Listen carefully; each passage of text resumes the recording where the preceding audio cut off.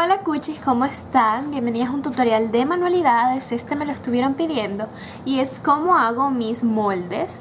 Y lo que yo uso es esto que se llama The Amazing Mold Putty y es, uh, es una masa, son dos componentes, muy fácil de mezclar, la venden en Hobby Lobby a uno alrededor de 20 dólares, esta es la pequeña suficiente para mí. Y es muy fácil crear moldes. Hoy les voy a enseñar a hacer moldes de piezas plásticas, metálicas, las que ustedes quieran y de galletas.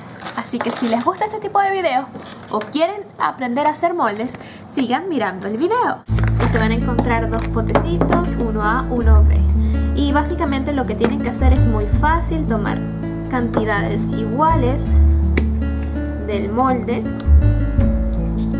o sea, de la masa, perdón, más o menos iguales y obviamente vas a calcular más o menos el tamaño con una y así dará perfectamente con las dos. Y lo que tienes que hacer es amasar. Esto es divino y relajante. Amasa, amasa, amasa hasta que tomen un color amarillo claro. Básicamente alicen todas las superficies que no queden grietas ni nada para que salga perfecto. Tomas tu pieza la de tu preferencia la vas moldeando así.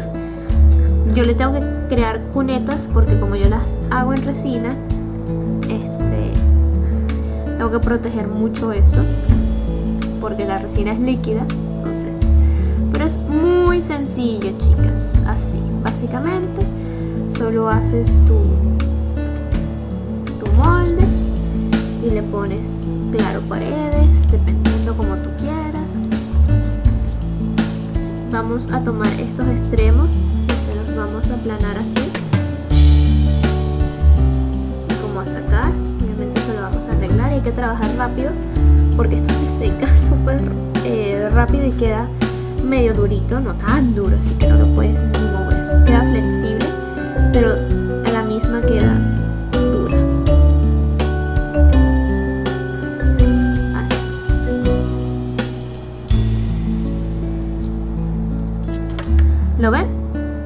Vamos a dejar secar y luego volvemos con él. Vamos a hacer el otro molde. el de galleta Oreo, estas galletas están previamente refrigeradas por varios días. Necesitan estar bien duras. Las separas. Oh, está súper dura. Bueno, y vas a crear, aplastar así, hasta que todo se imprima, todos los detalles se impriman.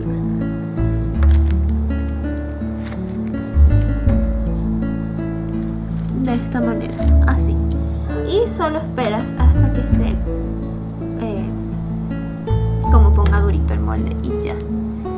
Y tienes que revisar muy bien que esto no quede muy delgado de manera que el molde se te rompa. Así es la consistencia que tienen, son flexibles y es muy fácil de sacar. Miren, y ahí queda nuestra forma ya plasmada.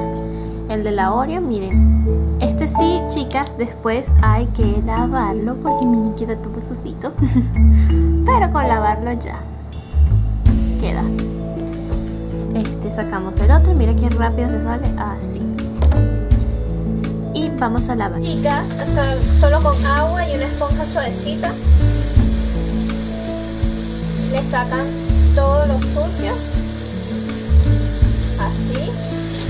Lo lavan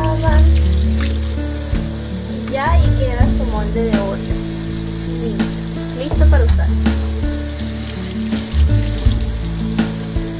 Igualmente cuando se ponga mucho más duro mañana, o sea 24 horas después, lo pueden lavar con más facilidad.